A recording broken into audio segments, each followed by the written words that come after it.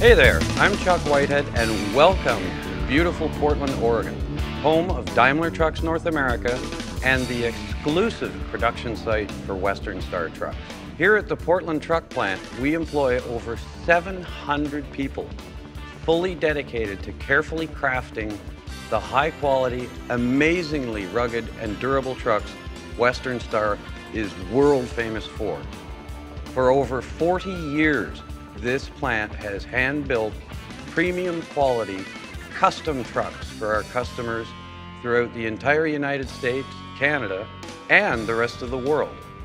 Our engineers and technicians rely on the latest manufacturing techniques to produce premium, heavy-duty, custom-built Western Star trucks for freight transport, heavy vocational applications, and extreme duty off-road work. Let's take a tour of our manufacturing facility so that you can see up close the premium features and hand-built details that sets each and every Western Star truck apart from our competition and also makes them worth each and every penny you pay for them. Our Portland truck plant is divided into five distinct areas. Chassis, engine and axle buildup, pre-paint cab, paint, finish cab, and final assembly.